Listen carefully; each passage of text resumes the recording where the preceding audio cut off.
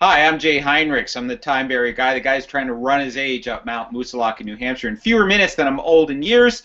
I have once again Lee Michaelides, the official time barrier researcher, and today we're going to talk about the runner's high, which um, some people don't think exists, and most runners do think it exists. So, Lee, first of all, does the runner's high exist, and how often can you get it? It's pretty much established it exists, but it apparently is rare. I mean, the majority of runners don't get it and or feel it. And and your your friend um, Amby Burfoot calculated that he had one high after uh, 21,600 workouts. Okay, so so Amby was the guy, American, who won the 1968 Boston Marathon and became editor of Runner's World. I worked for Rodale, overseeing sports magazines there, and among them was Runner's World. Uh, and I've been running uh, a number of times with Amby, who um, is a marathoner, obviously, and so uh, he sustains terrific effort over a long time, but uh, does not run intensively. And one of the things, now, by the way, I should say, for details of the science, you wrote this terrific blog post, which is on uh, breakingthetimebarrier.com, um, and uh, where you can find all the details here but basically, what um, what one of the things you wrote is that intensity seems to make a difference, right? This te- you tend to get high after a particularly intense run, correct? Correct. And then there's even some science in there where, or some athletes are saying that all-out intensity may not produce it, but when you're in that spot they call the zone, which we've talked about, um, and maybe we should do more research, you're more apt to get the runner's high.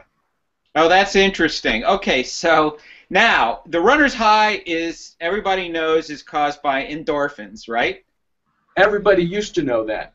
Um, new science has basically disproved that.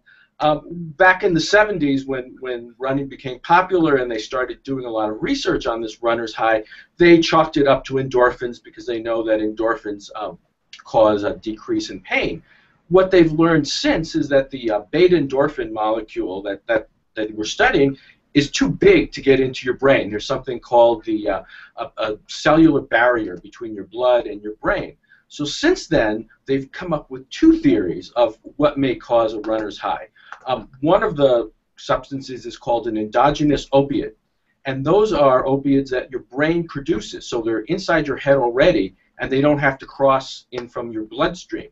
Um, and so that's one theory, but they don't know which one of these will cause a runner's high, if any of them, because they just don't have the, the tools to, to study that yet. Um, the other thing that they're looking at, and this is kind of interesting, it's called an endocannabinoids, cannabinoid, excuse me, and that sounds a lot like cannabis because what they're studying is the active ingredient in cannabis that makes you high. And this apparently is a very small molecule that can travel all through the body and they've done studies on uh, mammals, particularly dogs and humans, and they find that when dogs and humans exercise and run intensely, um, they produce this stuff. And there's even an evolutionary component because running is, you know, on a, on a kind of natural history sort of thing, is kind of ridiculous. You expend a lot of energy, and uh, you you could injure yourself. But you know, for millions of years or so, uh, dogs and humans keep on running. So they think that there's an evolutionary connection to this. Okay, well, so now there, I have read about cannabis receptors in the brain, which are these pleasure receptors. So basically, the two theories come down to whether when we run, our bodies produce opium or uh, or pot. I'll take either one as long as it's natural and perfectly legal.